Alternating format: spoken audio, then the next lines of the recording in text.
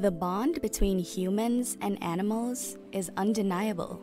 After all, we're animals too, just more advanced and able to walk on two legs. However, when a human is pictured with an animal, it's typically a dog or cat or some other domesticated creature. What about the animals that aren't as cute or cuddly? Or the ones that could severely injure you? Or the ones that make your skin crawl? They need love too. These are the strangest animals you have never seen before.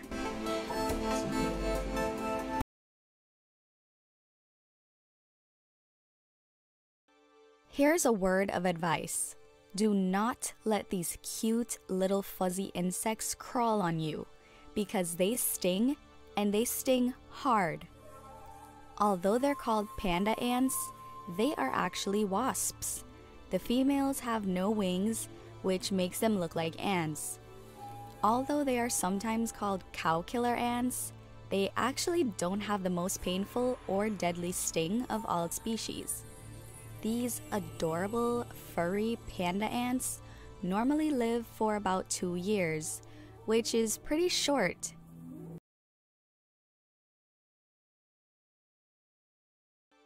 When we hear the word rodent, the first thing that comes to mind is rats.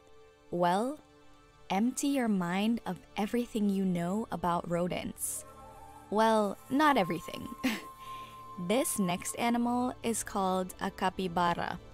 It lives in South American wetlands and forests, and it is the largest living rodent in the world.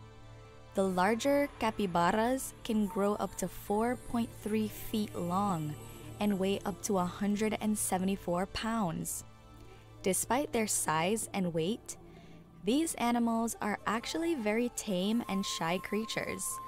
They can also be trained and are said to make very good outside pets. So, these animals are cute, furry, docile, and make good pets. What's wrong with them? Well, nothing major except they eat their own poop. It is believed to be a way for them to get all the nutrients they need. And animals normally have a hard time digesting grass, so the capybaras basically eat it twice. I guess you could say that's clever.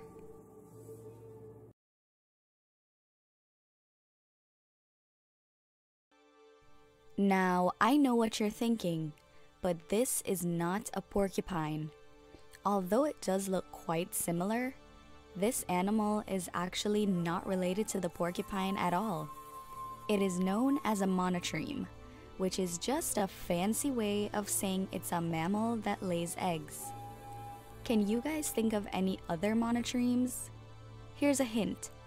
He's Dr. Doofenshmirtz's arch nemesis. If you guessed Perry the platypus, you're correct. The echidna is the only other living egg-laying mammal besides the platypus. It also has no teeth so it has to slurp its food using its super long tongue. And here's another weird fact that you didn't ask for. Male echidnas have a four-headed penis. Only two of the heads are active during mating, but you know what they say. Two heads are better than one.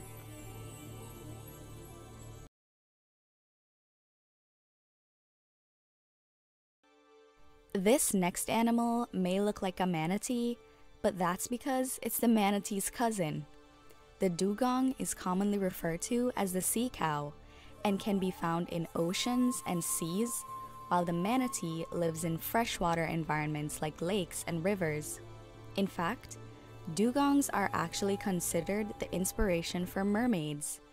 Despite their large size, they are actually quite docile animals who spend most of their time peacefully grazing along the seafloor and eating seagrass.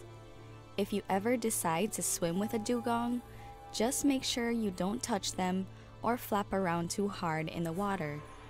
Dugongs can be easily disturbed or frightened by people, and if they have an unpleasant encounter, they'll just swim away and they may choose never to come back to that place or to avoid people.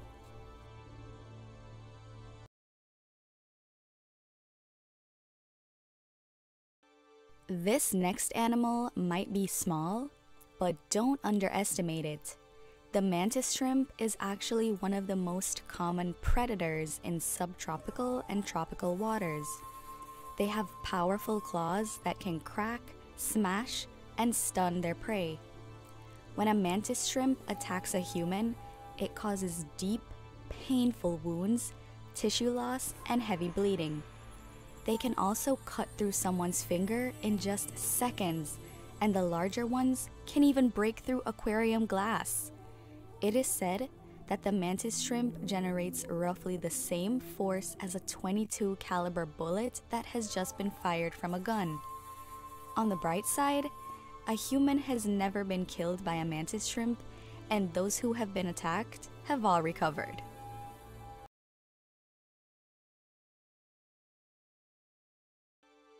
This next animal might be nice to look at, but there is so much more to it than just its beauty. The Glaucus atlanticus is a species of blue sea slug. It is also sometimes called the blue dragon or the blue glaucus. This animal is able to float on the water's surface because of a gas bubble that's stored inside its stomach. It floats on its back and the bright blue color camouflages it so that flying predators can't see it. Meanwhile, their grayish backs blend in with the sea surface, and that makes it hard for predators in the water to see them. This is known as counter shading, and just goes to show how smart this little creature is. One of the most interesting things about blue dragons is their venom they don't actually produce their own poison. What they do is, they eat animals like the Portuguese man o' war or the purple snail, and then recycle their stinging cells for use later on. Now that's what I call killing two birds with one stone.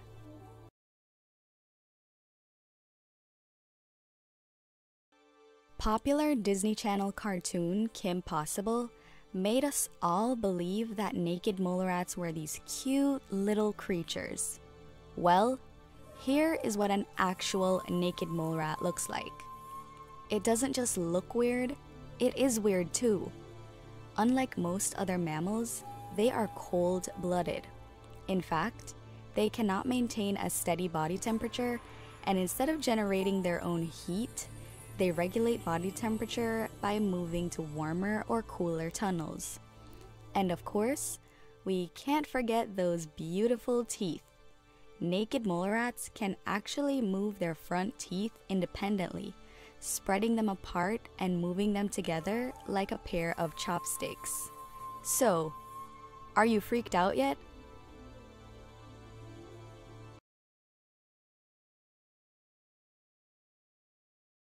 The axolotl is known as the Mexican salamander. It got its name from Xolotl, the Aztec god of fire and lightning, who had the ability to morph into a salamander. The most unique thing about this animal is that it can regrow almost any of its body parts, including their spines, hearts, and brains. And here's something even more interesting. They can accept limbs and organs that were transplanted from other axolotls without risk of rejection. These traits have made them the perfect subjects for medical research. Most axolotls are black or brown, but some have white skin with pink or red gills. Is it weird that I find them kinda cute?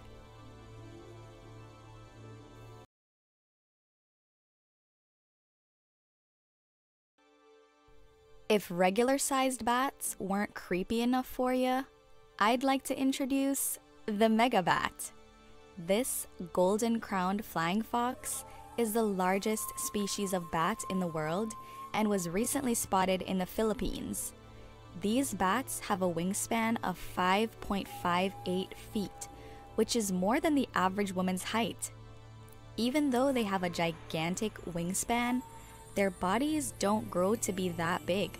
So these bats are not actually human sized like people think. And before you start freaking out, this bat is a herbivore, so it only eats fruits and vegetables, not humans.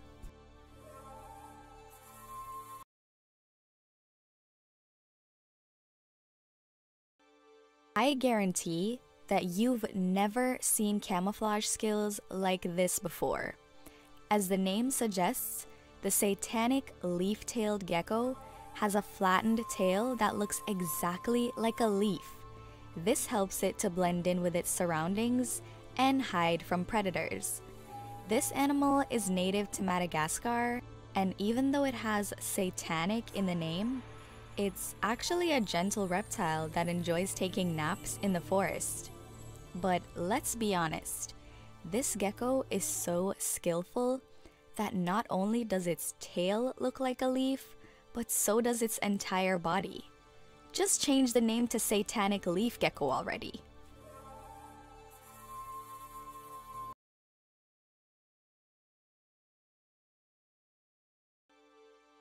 Every woman has that special tube of red lipstick that ties their whole look together.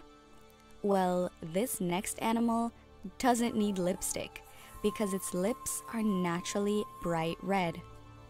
The red lipped batfish is completely unique to the Galapagos Islands and cannot be found anywhere else in the world. Although it lives in the water, this batfish is actually not that great of a swimmer. However, they use their specialized fins to walk along the sea floor.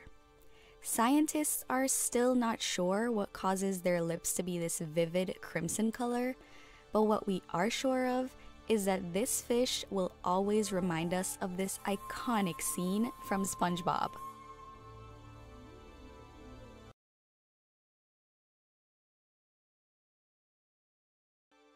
If you thought king crabs were huge, Wait till you see this next crustacean.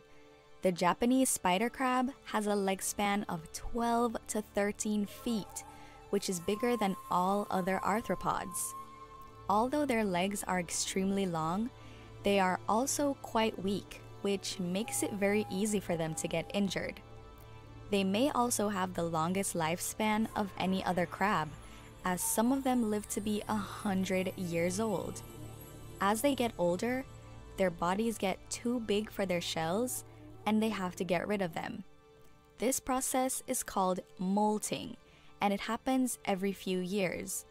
The process can take hours, but once it's done, the spider crab emerges from its shell with a larger body and skin that is soft until their new shell hardens. And don't worry, these crabs may look terrifying, but they're actually pretty friendly and are said to be gentle.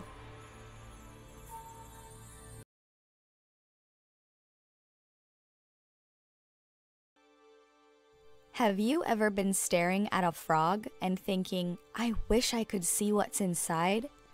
Well, today's your lucky day. These glass frogs have see through skin on their abdomens that allow you to see all of their guts and all of their glory. There are 156 known species of glass frogs living mainly in the northern Andes and Central America. And scientists aren't just fascinated with this animal because of the way it looks. Some species are even smaller than a paperclip.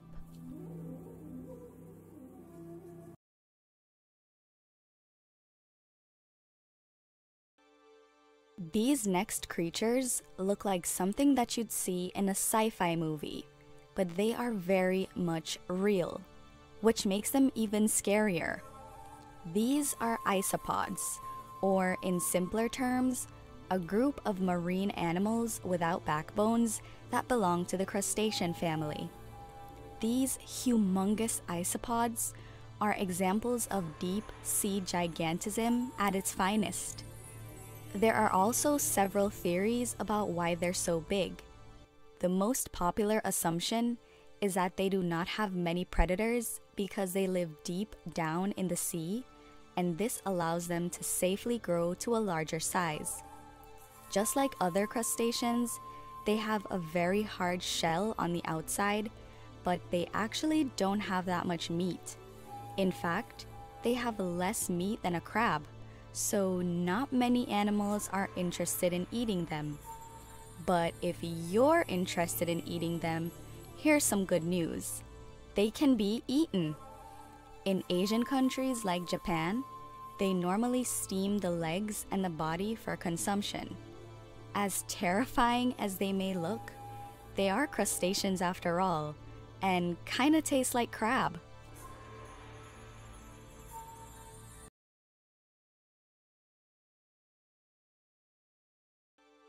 Snakes have always been the animal of choice for those making sexual jokes and comparisons to a man's you know what. But this recently discovered rare species is about to take those jokes to a whole new level. Although this creature is not a snake, it has been called penis snake by many people, and I'm sure you can see why. It is actually a worm like, noodle shaped amphibian, and it was found in Brazil. And if you think this is the only unusual creature that closely resembles parts of the male anatomy, think again. There's the fat innkeeper worm, the Pacific geoduck, and we can't forget the Priapulida. Who knew nature was filled with so many organisms shaped like a phallus?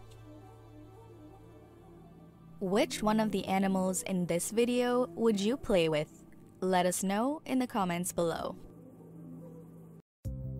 If you made it to the end of this video, that can only mean one thing. You are seriously into some weird-ish. So go ahead and press that like button and don't forget to subscribe to our channel for more weird content just like this.